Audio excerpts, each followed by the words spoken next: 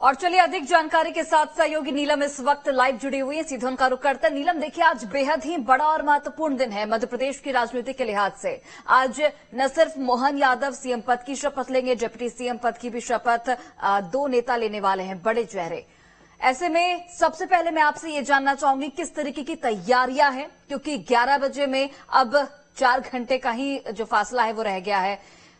11 बजे जब पीएम मोदी वहाँ पर पहुँचेंगे, जेपी नड्डा वहाँ पर पहुँचेंगे, अमित शाह वहाँ पर पहुँचेंगे, किस तरीके की भव्य तैयारियाँ की गई हैं?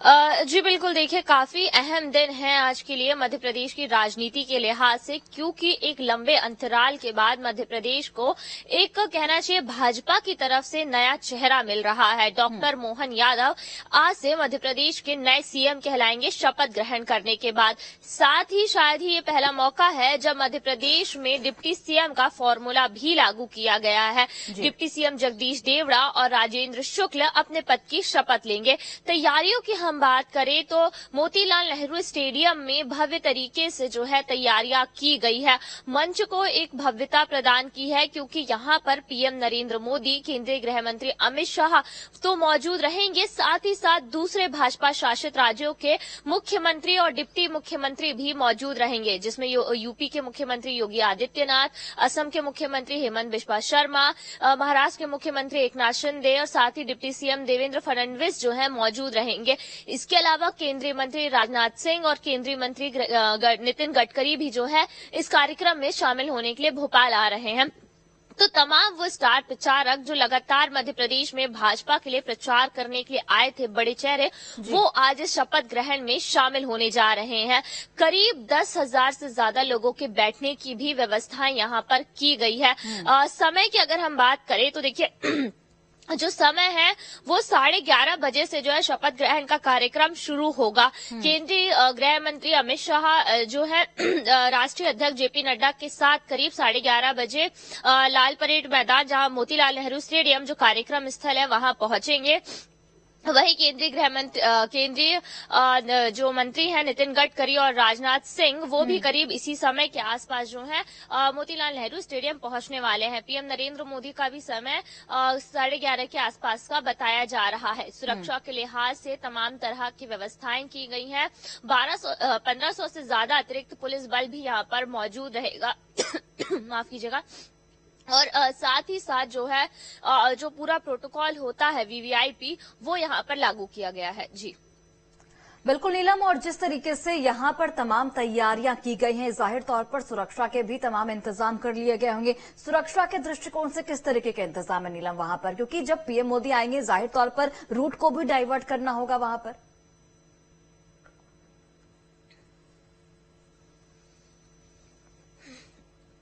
जी, बिल्कुल, देखिए, सुरक्षा के लिहाज से भी तमाम तरह के इंतज़ाम किए गए हैं।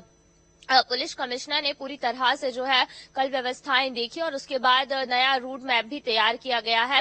लाल परेड मैदान की तरफ़ जाने के जितने भी रास्ते माफ़ कीजिएगा आज सुबह आठ बजे से ही सब में ट्रैफ़िक डाइवर्जन रहेगा।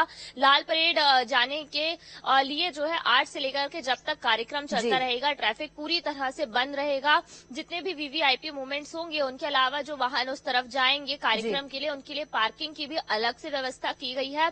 इसके अलावा अगर किसी को लाल परेड मैदान से आगे जहांगीराबाद की तरफ़ जाना है बिल्कुल तो बिल्कुल नीलम ज़ाहिर तौर पर सुरक्षा के तमाम इंतज़ाम किए गए हैं और सुरक्षा हो भी क्यों ना, क्योंकि आज बेहद ही महत्वपूर्ण दिन है, बेहद ही बड़ा दिन है। मुख्यमंत्री पद की शपथ लेने वाले हैं मोहन यादव। दो डेप्यूटी सीएम भी यहाँ पर शपथ लेते हुए नज़र आएँगे। तमाम तैयारियाँ कर ली गई हैं और अभी हम मोहन यादव की बात ही सुन रहे थे, जिसमें उन्होंने सभी से अपील भी की है कि शपथ ग्रहण समारोह में शामिल हों। और जिस तरीके से यहाँ पर जगदीश देवड़ा राजेंद्र शुक्ल भी शपथ लेते हुए नज़र आएँगे। सुबह साढ़े ग्यारह बजे से शपथ ग्रहण समारोह की शुरुआत होगी। मोतीलाल नेहरू स्टेडियम में जो तैयारियाँ हैं, वो पूरी कर ली गई हैं। भव्य तैयारी यहाँ पर की गई है और तमाम बड़े चेहरे बीजेपी के इसमें शामिल होंगे। चाहे हम प्रधानमंत्री नरेंद्र मोदी की बात करें, केंद्रीय गृह मंत्री अमित शाह, नितिन गडकरी, राजनाथ सिंह, ये वो तमाम नाम हैं जो इस शपथ ग्रहण समारोह में शामिल होने वाले हैं। नीलम, जिस तरीके से यहाँ पर दो डिप्टी सीएम शपथ लेने वाले हैं, सीएम शपथ लेने वाले हैं, क्या अभी तक कोई जानकारी मिल पाई है कि क्या मंत्रियों का भी आज शपथ ग्रहण होगा? इसे लेकर कोई अपडेट?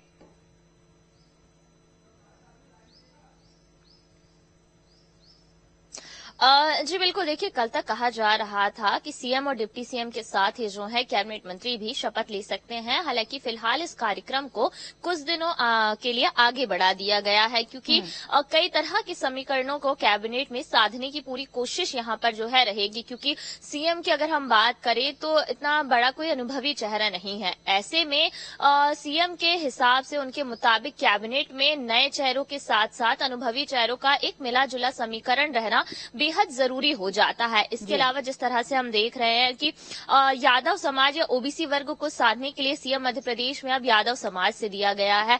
वहीं जो डिप्टी सीएम है वो एससी वर्ग से आते हैं और ब्राह्मण या सवर्णों को साधने के लिए जो दूसरे डिप्टी सीएम है वो ब्राह्मण जाति से आते हैं। तो कुछ इसी तरीके का मिला जुला समीकरण कैबिनेट में भी हमें देखने को मिल सकता है। और जिस तरह से कहीं न कहीं ये नज़र आ रहा है न सिर्फ़ मध्य प्रदेश में बल्कि छत्तीसगढ़ और राजस्थान में भी हम देखें कि भाजपा अपनी एक नई या यूँ कहें कि यंग ब्रिगेड तैयार करने की कोशिश कर रही है। तो ये अनुमान लगाया जा रहा है कि अब कैबिनेट में भी जो है नए चेहरों को मौका ज़्यादा दिया जा सकता है। ऐसे विधायक जो पहली दूसरी या तीसरी बार के विधायक है पहले शायद कैबिनेट मंत्री ना भी रहे हो तो उन्हें भी जो है इस बार कैबिनेट में मौका दिया जाएगा। साथ ही साथ जो क्षेत्रीय समीकरण है उसे साधने की भी पूरी कोशिश की जाएगी क्योंकि देखिए महाकौशल से हम बात करें तो प्रहलाद पटेल को वहाँ से चुनाव ज़रूर लड़वाया गया है। राकेश सिंह जबलपुर से उतरे हैं पर ये इतने बड़े चेहरे हैं कि इन्हें कैबिनेट से ऊपर ही दर्जा देना पार्टी के लिए ज़रूर ज़रूर एक बड़ी ज़िम्मेदारी होंगी क्योंकि प्रहलाद पटेल की हम बात करें तो केंद्रीय राज्य मंत्री रह चुके हैं एक बड़ा दर्जा उनके पास रहा है। ऐसे में अब ये देखना होगा कि क्षेत्रीय समीकरण को साधने के लिए कैबिनेट में क्या कुछ जो है समीकरण देखने को मिलेंगे जिसे लेकर के समय ज़रूर लगेगा। तो अभी फ़िलहाल कैबिनेट विस्तार को कुछ दिन आगे के लिए जो है टाल दिया गया है। तमाम तरीके तरह के समीकरण नए सीएम के जो पसंद इन तमाम चीज़ों को ध्यान में रखते हुए जो है कैबिनेट का विस्तार किया जाएगा। यहाँ पर हम बात करें तो कई ऐसे नाम भी सामने आ रहे थे जो पहले भी रह चुके हैं मंत्री और इसके अलावा नए चेहरों का भी जो है नाम सामने आ रहा है जिनमें कि अगर हम बात करें तो भोपाल से ही विधायक रामेश्वर शर्मा की दावेदारी मानी जा रही है। महिलाओं में अगर हम बात करें तो कृष्णा गौर की ललिता यादव की। और अर्चना चिटनिस का नाम सामने आ रहा है कि महिलाओं को देखते हुए जो है कैबिनेट में अ, महिला मंत्रियों की संख्या शायद इस बार बढ़ा दी जाए क्योंकि जिस तरह से हम देख रहे हैं कि विधानसभा चुनावों में भी महिलाओं पर ज़्यादा फोकस किया गया लोकसभा के मद्देनजर भी जो है इस बात का खासा ध्यान रखा जाएगा। तो ये तमाम तरह के समीकरण बिल्कुल बिल्कुल नीलम और ये देखने वाली बात होगी कि आखिर कैबिनेट में किन किन चेहरों को जगह मिलती है क्या एक बार फिर से बीजेपी सबको चौंकाती है जिस तरीके से तमाम फैसले लिए गए हैं डिप्टी सीएम को लेकर मुख्यमंत्री को लेकर ये देखने वाली बात होगी नीलम। आप नज़र बनाकर रखिए। एक बार फिर से आपसे जुड़ेंगे। फ़िलहाल बहुत बहुत धन्यवाद। तमाम जानकारी तक